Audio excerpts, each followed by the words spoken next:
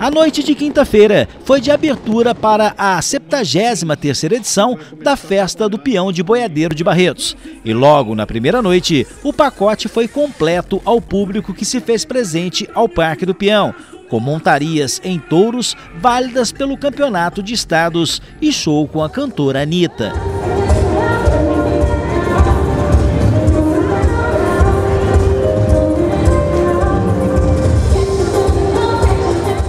Sobre as competições que prosseguirão para os próximos 10 dias, o diretor de rodeio de Os Independentes, Marcos Abud, destacou que os melhores em todas as modalidades passarão pela Arena de Barretos, onde milhões em prêmios estarão em disputa.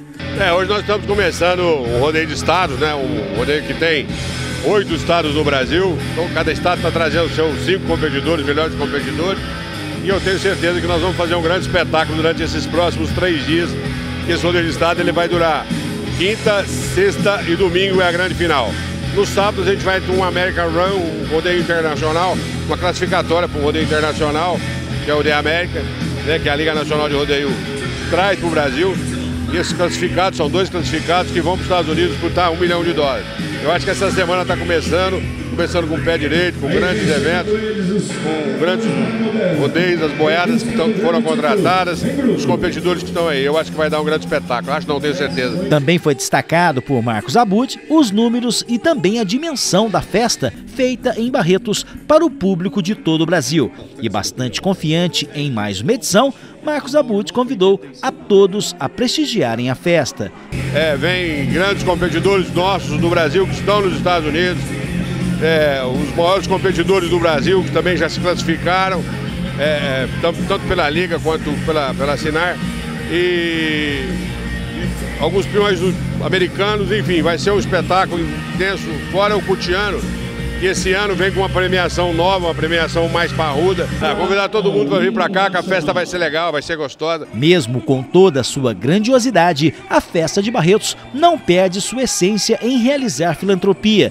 E nesta primeira noite, esta responsabilidade foi comentada pelo locutor Gleidson Rodrigues, que falou sobre o desafio em prol ao Hospital do Amor de Barretos. Sabe que é uma ação muito bonita para o Hospital de Câncer de Barretos, que é o Hospital de Amor ela vai se chamar Desafio de Amor, onde nós vamos estar com um grupo de pessoas, mais ou menos 50 pessoas de cá, 50 pessoas do outro lado da arquibancada, e essas pessoas vão passar a sacolinha para o pessoal ajudar o Hospital de Câncer, porque o Hospital de Câncer, com chuva, sol, frio ou calor, sabe, ele tem um, um, um, um custo de mais ou menos 30 milhões.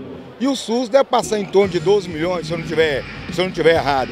O restante, 20 e poucos milhões, é tudo através de doações.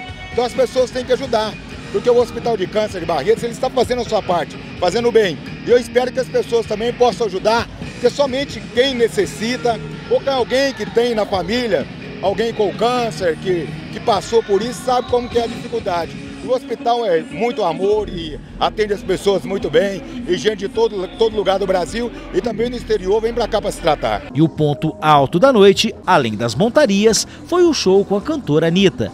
E para uma arena lotada, ela trouxe todo o seu charme e reverência, e com seu funk, ela sacudiu o barretão.